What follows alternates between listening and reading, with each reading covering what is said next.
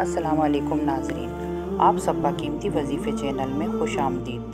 उम्मीद है आप सब खैरियत से होंगे। नाजरीन, आज की हमारी इस वीडियो में हम आपको नमाज़ की अहमियत और उसकी तासीर के बारे में बताएँगे।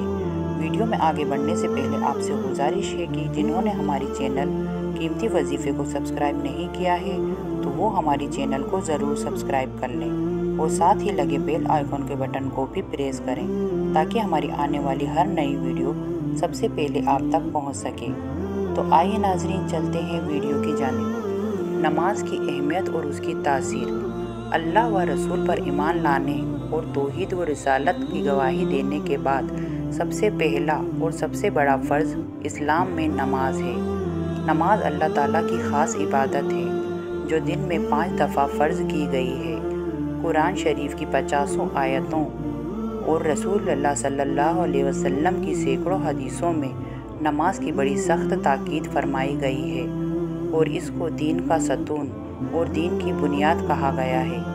नमाज़ की ये ख़ास तासीर है कि अगर वो ठीक तरीके से अदा की जाए और अल्लाह ताला को हाजिर व नाजिर समझते हुए पूरे ध्यान के साथ पढ़ी जाए तो इससे आदमी का दिल पाक साफ़ हो जाता है और इसकी ज़िंदगी दुरुस्त हो जाती है और बुराइयाँ इससे छूट जाती हैं। और नेकी और सच्चाई की मोहब्बत और खुदा का खौफ इसके दिल में पैदा हो जाता है।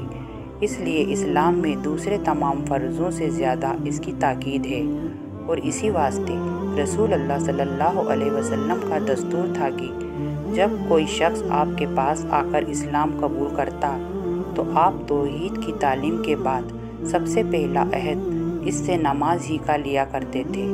अलगरस कलमे के बाद नमाज़ ही इस्लाम की बुनियाद है। नमाज़ की बहुत ज़्यादा अहमियत है, इसलिए नमाज़ की पाबंदी ज़रूर करें। उम्मीद है आपको हमारी ये वीडियो पसंद आई होगी। इसे लाइक करें और ज़्यादा से ज़्यादा शेयर करें। मिलते हैं अगली वीडियो में। तब तक के लिए इजाज़त दें और मुझे अपनी दुआओं में याद रखें। अल्लाह हाफिज़।